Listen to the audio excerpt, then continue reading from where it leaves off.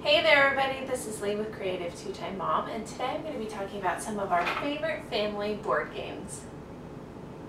So I've written several blog posts about favorite preschooler games but I really wanted to share with you some of our favorite games that we play as a family. We have a wide range of ages and interests in this house. I have a 10 year old all the way down to a four year old. So it's sometimes a challenge to find something that they'll both enjoy. So I pulled some of our favorite games that we love to play as a family. Now when I was thinking about this video, I thought, oh, easy. We have tons of games in this house. And that's where the problem came in. We have so many games, it was hard to narrow it down to some of our favorites. So I'm going to kind of go through these, probably starting with the youngest and then moving our way up throughout maybe more family-oriented type games. So the first one, you can tell this is really well loved, right? We have a memory game. In fact, as I'm going through our game closet, we actually have one, two, three, four, five different memory sets. This one is the Toy Story, there's Zurg, we've got the Martians, Bullseye, Woody, Jessie. I love using memory games. These are a great logic skill and really good for that younger preschool set, just early elementary, like early, early elementary my four-year-old loves playing memory. He's kind of a goofball, so he likes to pretend like he doesn't know where something is. He'll try to fake you out, and then he always figures it out. We love these. And really, you can use these for a whole range of ages because two of the sets that we have are called challenge memory.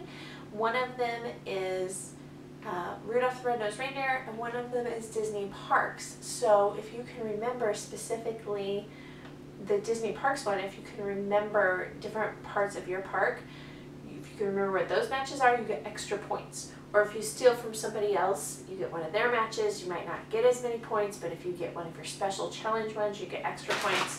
It's this whole thing. And all of my kids, I think memory has completely changed the way they think because they all started out with memory games and they can all kick my butt at these games. They're super smart. It's just got their brains constantly thinking and memorizing stuff.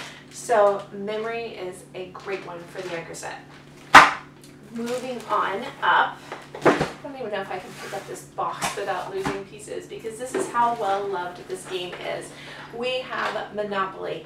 And this is kind of an early elementary game in our home. This is how Noah learned how to add because we constantly had him adding the dice. This is how he learned how to count, moving around the board. When I would roll, I would have him count my dice. When he would roll, I would have him count his dice. As early as five years old, we were using this game for addition, we were using it for money, we were using it for logic. Um, we were using it for remembering what sets you have because if you've played Monopoly, if you get a certain color set, you can start adding houses. The whole thing, I have not been able to beat Noah at memory, or sorry, Monopoly for several, several years. And this Disney edition is a lot of fun. As you can see, it is well loved in our house. Another one for kind of a younger set, just lost all my cards. This says seven and up, but we start Uno in our house probably around five or six years old. Uno is a great one because it keeps them thinking about numbers, colors, skip. Again, my four-year-old is playing Uno right now. His favorite card, because he's a joker, his favorite card in the set is the skip. He thinks it's the funniest thing in the world. This is a good one for a variety of ages. He can start playing it all the way on up to my husband and I don't get bored with this one. That's a lot of fun. After Uno, we start adding in things like Phase 10. Again, well loved. It's in a bag because the box is so tore up. This is one is a lot of fun. It kind of goes along the idea of running. You got to get sets and runs in different colors or different sets of numbers. Lydia's under the tripod. Don't bump, please.